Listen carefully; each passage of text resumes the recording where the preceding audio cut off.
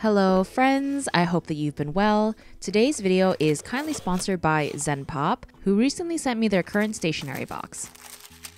The March box's theme is Showa Nostalgia, which is an era in Japan from the years 1926 through 1989. For more information on the specific items in the box, you can scan this QR code that'll provide you with more details. ZenPop is based in Osaka, Japan, and they offer subscription boxes for stationery, sweets, and ramen. If you saw my live stream last month, you would have seen that I did an unboxing of the previous stationery box, and I also got their sweets slash snack box as well. I had so much fun testing out the pens while I drew your requests live, and I also really enjoyed all of the snacks that came in the box. They were so delicious. You can purchase a one off box as a gift, or ZenPop also offers 3, 6, and 12 month subscription plans as well. Each month is totally unique and they all come directly from Japan. I think that these would make for a great gift to a loved one or even just as a nice little treat for yourself if you love trying out new stationery and or new Japanese snacks. So if you're interested, use my discount code I'm a Wonder 5 for $5 off your purchase. I'll also provide a link in the description as well. I really find that Japanese stationery is always so well designed, and the items in this box were no exception. I especially loved that the seam had a retro vibe with a lot of watercolor illustrations in the designs, and so I thought it would be fun to create an illustration that not only incorporated some of the stationery into the piece, but also have a retro aesthetic to fit the theme.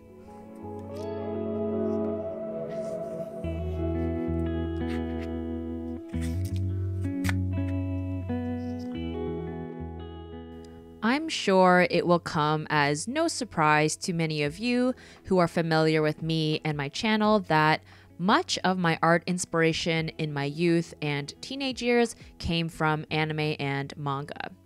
I would say that generally my current art style definitely still has an anime influence, but I think that it does in a much less overt way. I continue to describe my art style to be somewhere in between stylized and realism. However, I thought that for today's illustration, it would be fun to go back and revisit that classic retro shojo art style that definitely features those giant sparkly eyes, which I had the most fun drawing in this illustration. So I went ahead and did the sketch using my favorite red erasable pencil, followed by an oil-based colored pencil to finalize the sketch so that it would stay in place once I started painting. As always, all of the art supplies I use will be listed in the description down below. I decided to go with watercolors for this piece because to me, when I look at various illustrations of the retro shojo art style, there's something very soft and airy looking about it. I think it's definitely possible that some of these pieces I was looking at were actually done using watercolors, but I'm sure many were created with alcohol markers as well, since I think that tends to be the kind of classic go to art supply for manga and anime. Lastly, another reason why I decided to go with watercolors for today's piece is because, as my patrons will know, I recently received a whole bunch of new liquid watercolors from Pebeo, and so of course I was very excited to continue trying them out. Again, my patrons will have already seen me using them. I did a live stream with them where I swatched all of these watercolors with them and I did like a test illustration as well.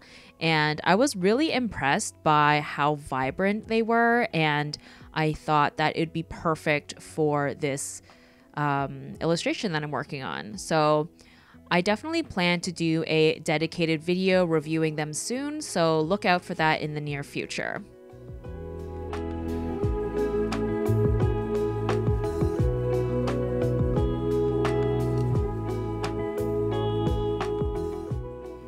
Prior to working on the sketches for this page, I looked at a bunch of various shoujo illustrations for inspiration, and of course, the big sparkly eyes and dramatic eyelashes are a staple of this style. And another thing about it is that typically there is very minimal shading slash rendering. Everything is quite soft, and all of the details generally come from the accessories, flowers, or other decorative elements. Because don't get me wrong, even though there are not a lot of rendering rendering elements about this style, it's still very extravagant in other ways. So as you can see from the footage here, for the most part I am mainly using flat washes with very subtle shading and highlights here and there for certain parts. As for the composition of the page, instead of going for that classic shojo kind of manga cover type piece where uh, like I just said, it's very extravagant and adorned with lots of decorative elements. I opted to draw inspiration from Japanese stationery packaging, and because I wanted to do some collaging, the composition also feels a little bit reminiscent of like a magazine spread. And I think it kind of has that vibe because we have like a full body um, figure here, and then we also have like a close up portrait. And then I chose to frame the portrait inspired by, yeah, like the stationery packaging as opposed to a more storytelling standpoint in the way that a manga cover would.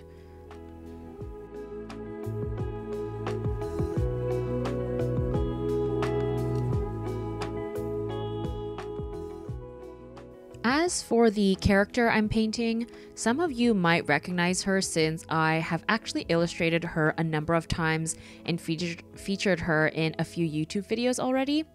Her design originally came about because at the time I had been reading up about sukeban, which was a subculture in the 70s of Japanese schoolgirl gangs, which I just thought was so badass and really fascinating. And so I was inspired to create a painting that was influenced by this movement, but of course I had my own spin on it.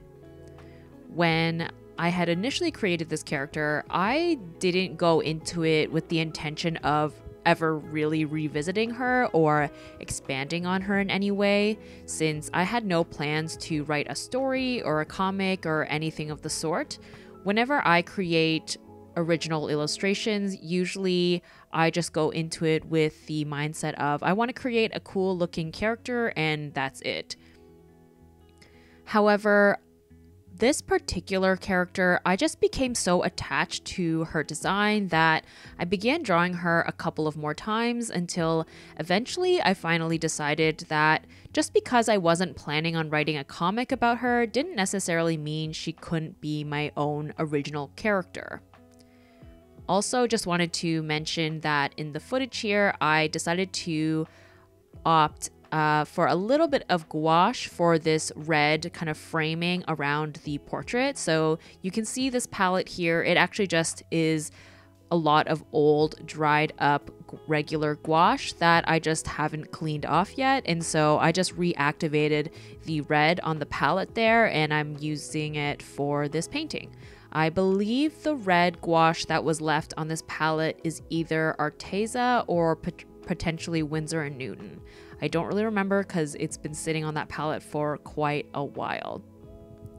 And then, of course, I wanted to include the items from the box, so I'm going ahead and using the washi tape. I absolutely love stamp motifs, so I'm obsessed with this washi tape.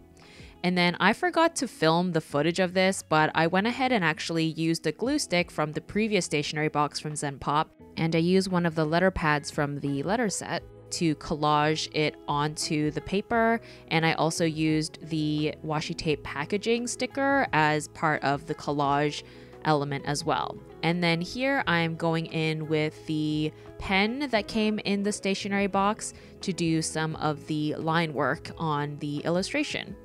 I originally thought I was going to use this pen for all of the line art, but after I kind of initially did the first little line art on kind of her collar and her shirt there, I realized that black just felt a little bit too harsh. Uh, again, just if I'm kind of referring to the vibe and aesthetic that I was going for. So I felt like it was suitable to use the black pen for the eyes because obviously that is the key focal point of this type of you know art style. But then for the rest i ended up going with colored pencil because i felt like it just made for a much softer look. And then it really drew so much attention to the eyes as well. And so i'm using a various colors for the line art.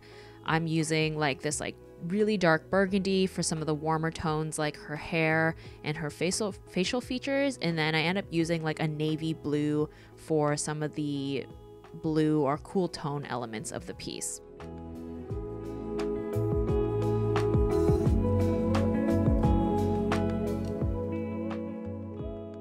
But yeah, so backtracking to this original character of mine, I after I made the decision that I wanted to officially make her an original character of mine. I made a post on Instagram a little while back asking my followers for some name suggestions for her since I feel like, you know, a, an original character isn't official until they have a name, right? So there were a ton of great options, but eventually I landed on Momo, which means peach in Japanese. I've always loved the duality of cute and fierce, which I think I've really tried to capture with this particular character since, you know, she's got the baby pink hair and just her overall color palette is very cute. But she is, you know, a leader of a girl gang. And usually I have her illustrated, you know, wielding some kind of weapon. And oftentimes she's kind of got like a sassy, sour face. And so I thought it was a really fun contrast to have this very adorable name, Momo, in combination with this feisty personality that I've given her.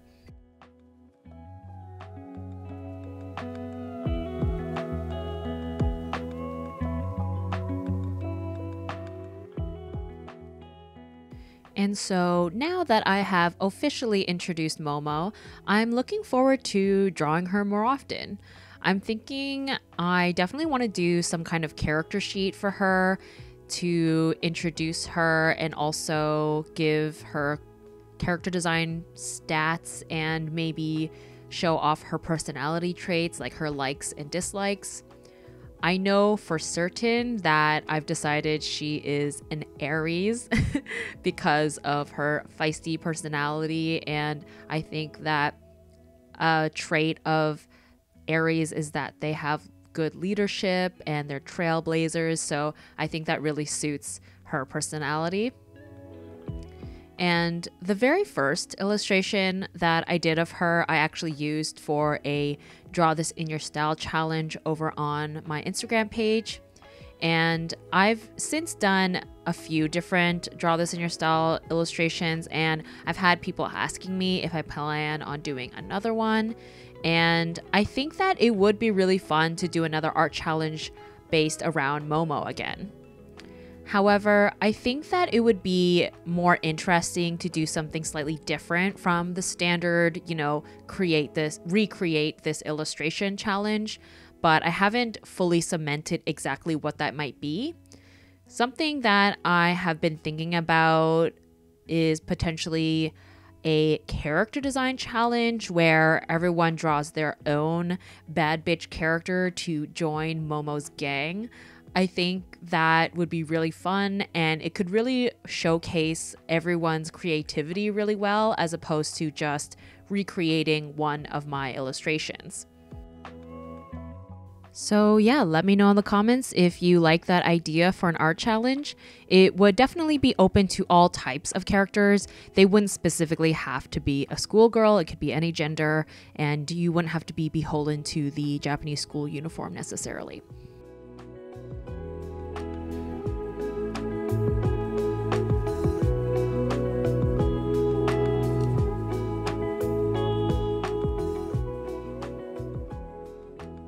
Anyways, once I finished with adding in the white highlights to the illustration with a paint marker, and I did all of the line art with the colored pencils. I went ahead and finished off the piece with adding in a few stickers from the ZenPop box onto her face and around her figure to really reinforce the collage type spread that I was going for.